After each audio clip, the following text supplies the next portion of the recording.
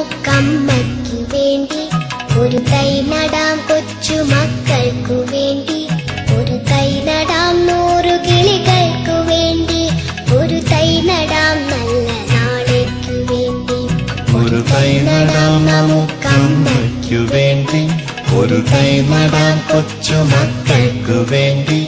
ഒരു തൈ നടാം നൂറ് കിളികൾക്കു വേണ്ടി. ഒരു തൈ നടാം നല്ല നാളേക്കു വേണ്ടി.